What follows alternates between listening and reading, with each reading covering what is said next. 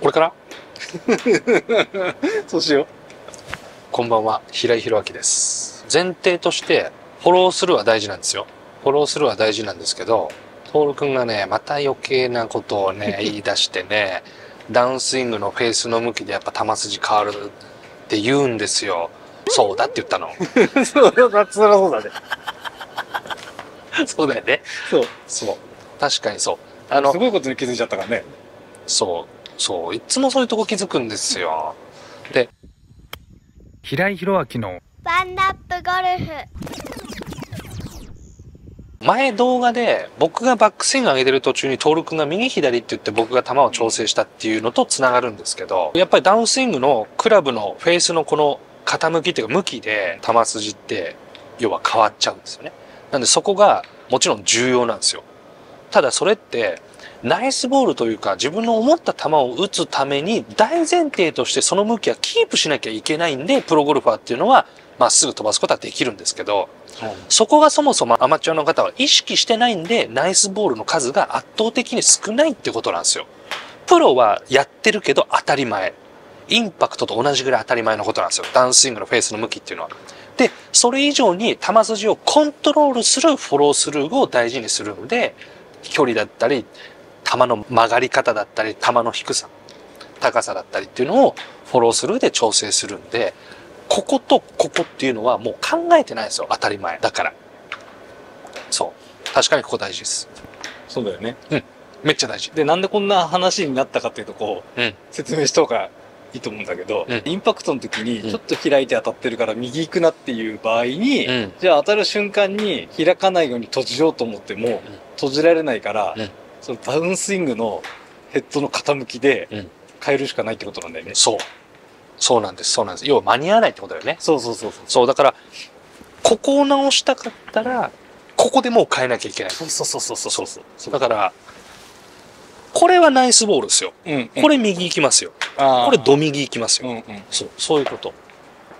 そう。で、これはスライスしますよ。で、これチーピンしますよ。はいはいはいはい。そうそうそうそう。これフック出ますよ。これ右プッシュ出ますよ。これプッシュスライス出ますよ。そう。9通りあるっていう。うーん。ノーマルの高さの球だけでね。それに高い低いがあるでしょ。うーん。だから27種類ぐらい。そんなんだ。ああやばいね。それぐらいこう勝手に出ちゃう。え、じゃあ右行くよって悩んでる人は、このダウンスイングの時のヘッドコスの向きをちょっと倒してあげたら、うん右行かないかもしれないんだ。今日の人。昨日の人と今日の人。え、そうなの？昨日の人なんて、うんフェアウェイと全然当たんないっつって、うん。で、全部こうやって尻餅ついてるのヘッドがこうやって。こうやって。うんそう。うんそれをね、こうやってやったの。うんうんうん。そしたら、本人吹いちゃうぐらいナイスショットしか出ないんだよ。笑ってんの？めっちゃいい球出てる。フェアウェイとであんな当たりしたことないって言うんだよ。あで、何やってたのかって言ったら、あ。はいはいはい。当たんないですっつってた。いや、そりゃ当たんないよね。そうだね当。たりそうにない動きでしょ、だって。そうだね。だってめっちゃ手浮いてるからね。そうでしょ。うん。こうやってやって怖くなってんじゃん。うん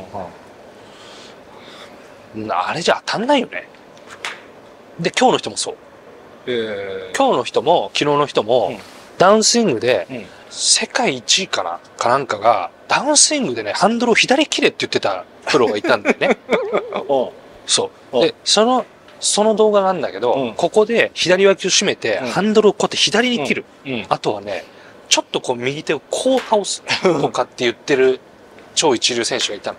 そそれをやったの。う。そう。そう。いや、いいこと言ってる動画あるなと思って真似したんだけど、うんそしたらめっちゃいい球で。出る？出るほんと、二人ともスライスに悩んでる。うん。で、フェースに当たんないって悩んでるの。うん。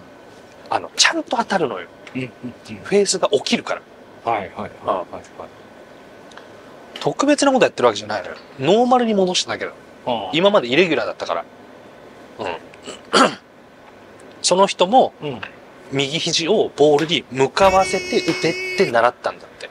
うん。いいんだよ。いいの。でも当たんなかったよねって。うん。だから当たるスイングをまず、ね、やって自分の飛距離が打てるスイングのノーマルのスイングにまず戻してからもう一回それを入れたかったらもう一回入れてくださいってうん。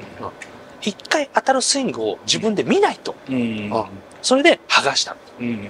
そしたら全然やっぱ当たるよねヘッドの動き向きっうん。ていうのがその2つがめちゃくちゃ大事なのよ、今の聞いてて思ったんだけど、違ったら違くていいんだけど、うん。バックスイングよりフォローの方が大事って言ってるけど、うん。バックスイングで当たるかどうかって決まるのかな？バックスイングで当たるかどうかは決まっちゃうね。要はヒットと球筋。要は当たる芯に当たる当たんないはここで決まるから。ああ、やっぱそう。で当たった後の話。うん。そう球筋をコントロールするのはこっちだから。なるほどね。要はそっぽ向いてたら芯に当たんないじゃない？そうだね。そうだからフェースがボールを向かないと芯には当たらないよっていう当たり前のことをやらないから。でもそれをさ、なんかそんな丁寧に言ってくれてる動画ないでしょ？ないよ。ないさ。え、だ、だからって、うん。フォローですって言ってる動画もない。ないない。じゃあどっちも、じゃあ何、どこのこと言ってんの？使い方よ。あ、体ね？そう。登録も俺もよく知ってるでしょうよ そうか。腰をきれそう、そうだ。シャローに入れそうろです。小屈しろそう。が多いじゃないそう。うん二重振り子そとかさそういうそのやつ、うんあれはそれが全部できてからのことだよ、う。そうでしたか。うん、いい加減分かろうそうだね。本当にめっちゃ大事だけどねあ本当大事だと思うお昨日の人も今日の人もあれで納得いかないですかって言ったらもうめっちゃくちゃ嬉しい納得するって言ってるわけよ。これノーマルですよっつったの。基本ですよこれって。そうだよね。だから基本に納得したんだったら入れる必要ないでしょっつったの。そうだね。うん。そんぐらいいい球なんだから。だって飛んじゃってるって自分で言ってんだよ。いやどんだけ入れてどんだけ距離落としてたのって。ああ。だって9番で110っつってんだよでここで打ったら130ってんだよ。どういうことって話じゃない？だからなんかなんだろうね。そういうことってあるのよ。うん。だからやって。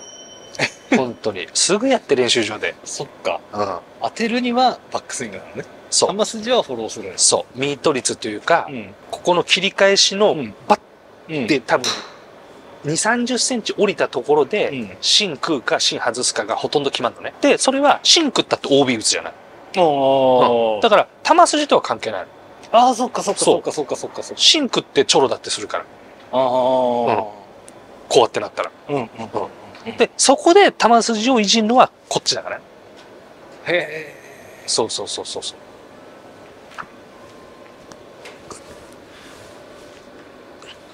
う。てかもうそこだけでほとんどのその右に行くっていう悩みが解消するんじゃないの？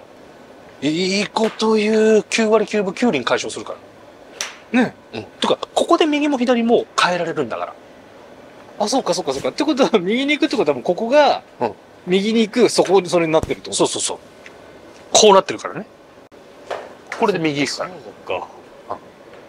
でも、ダウンスイングでクラブをこの向きでみんな使うんだから。うんうんうんうん。好きでやってんのかなっちゃうのかわかんないよ。うんうんわかんないけど、みんなやってんだよ、これ。うん。やってんのやってんの。だからプロって、こうやって下ろすの。うんうん。こうやって降りてくるプロってやっぱ少ないんだよね。でも一個だけ言っとかないと。はい。それあんま聞かないじゃん。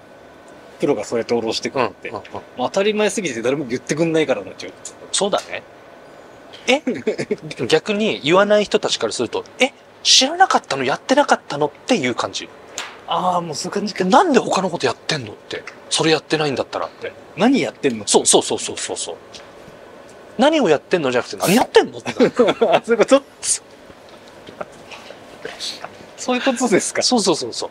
で、いや、じゃあダメでしょ、一回戻ろうよって。これやろうよってなってくる。わざわざそっか言ってくんないんだね。でも言わなきゃダメよね。いや、ダメだよね。だってそれで治るんでしょ、そうそうそうそうそう。ここで、うん。こうなってきて、うんミッシュット打つ方が難しいからね。本当にそっか。そっか。ちゃんとしたダウンスイング、うん。ダウンブローの動画もこの間撮ったけど、うんダウンブローに打ちたいのもうん、ま、っすぐの球打ちたいのも、芯食わしたいのも、うんこうなってなかったらできないから。うん。やってる場合じゃないんだよ。本当に。ほんとほんと。難しいよ、だから。こうやってる人からしてのこれは難しいよ。あ、難しいんだ。逆だから、逆だから。あだから、何にも考えてないノーマルの人からしたら、うん全然できるよ。今日の人なんかもできたから、昨日の人もできたから。うん。そう。あとはいつも感覚としてそこがある人うんっていうのは感覚があるからできる。ちょこっと話はずれる。今ちょっと思い出したんだけど、ちょっとやっていい、うんダウンスイングでうんこうやってやろうとして、右肩がこうやって出る人がいるの。ああ、はいはいはい。突っ張っちゃう人。うん。なんで突っ張ると思うって言ってみんな答えられないの？逆に突っ張んない位置。こっから突っ張らしてっつったらさ、こうやってなるでしあょ。あ、はいはい。高いの。手が。あ近づいちゃってるの。はいはいはい。そう。だから、自分にこうやって近づいてこうやって下ろしてきてる、だよ。特殊な動きをして突っ張ってんじゃないの。うん。もうだからダウンスイングで、こうやってストンって下に落ちたら、右肩って張らないの。こうやってなるから。回転してない、近づく。だから突っ張る。回転して、出してあげたら突っ張んないの。バックスイングもそうよ。バックスイングで右肩こうやって釣る人いるのよ。うん。そう、なんで釣るかって話じゃない。はいはいはい。ヘッドを動かしてあげたら、そうだねヘッドを動かしたらさ、手は下に行くってそうだね、ねうん言ったよね、俺とトール君はね。うそう。だからこうやってやったらさ、肩って釣らないん。の、ね。そうだね。そう。で、バックスイングでクラブ上げるっつったら手上げてるから釣るのよ。そうだね。そもそも。そうだね。ヘッドをね。そう。そういうこと。えー、すごいじゃん。それが自分で分かんないと自分のスイングなんだから。うんうんうん。なんでそうなるのか。分かんなくていいから考えないと、そうだね。そう、上達はしないです。そう。あ、これでみんな右行きませんよ、もう。右行きませんよ。行かないっす。いいがないねよ。やってよ。かぶせるようになったから、これで。そう。やってやって。で、左行ったら行ったでいい。そっから調整なんだ。そっか。そしたらかぶせすぎてるから、そう。ちょっと度合いを戻せばいいんだ。そう。こうやってやったり、こうやってやったうんり、いろいろ調整だって調整するでしょうよ。一発で決まったらロープよ。本当に。そうだね。そう。うん何でも調整。だからプロだって練習するんだから。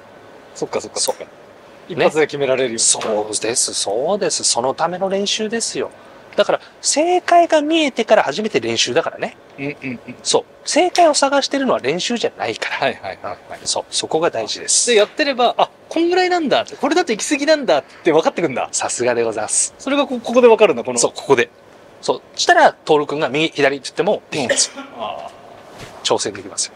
ーそれが分かるようになるのね。そう。だから、あ、やべえなと思って、うんインパクトで調整するとかって言うでしょ、俺。うんうんそしたらさ、そんなのできんのみたいな反応した人もいると思うの。うん。そしたらさ、それできるようになると思わない？ああ、やべえなと思ったら、ああ、だから、そっか。抜くんだ。そう。そしたら、こうやってやったり、こうやってやったりして、そう。どっち行きそうな時はうん、どっちかを逆を入れる。あそう、そういう反応ですね。それが、その感じられるようになってくるとできるようになりますんで、ぜひそこまで行って一緒にラウンドしましょう。お願いします。で今回はですね、ダウンスイングのフェースの向きでボールの調整をですね、まあ、するという。な、なんだっけ、タイトル。あ。タイトル分かんない。俺が気づいちゃっただけ。そう。トールくん、また一言余計でしたってす。すごいところにまた気づき。そう、トールくん本当にいつも発見してくれるんですよ。そう。で、このトールくんが言うには、やっぱここのダウンスイングのフェースの向きとか、その切り返しで球筋が決まるんじゃないか、どうなのっていう疑問をしてくれたんですよ。そう。で、確かにそうなの。フォローも大事なんですけど、芯食う食わないっていうのがここで決まるんで、直接的に球筋にも影響が出てくるんで。ダウンスイングのフェースの向きとフォロースルーで100点のショットを出してあげてください。はい。練習場でやって。今回の動画は以上になります。最後までご視聴ありがとうございました。オンラインサロンに入会していただきますと、特別なですね、ミーティングですとか、レッスン先行予約、あとオンラインサロンではですね、ちょっと YouTube では言えない内容の動画とかですね、ちょっと秘密なこととかですね、特別なショットですね、をオンラインサロンの方で紹介しております。是非気になる方はご入会よろしくお願いいたします。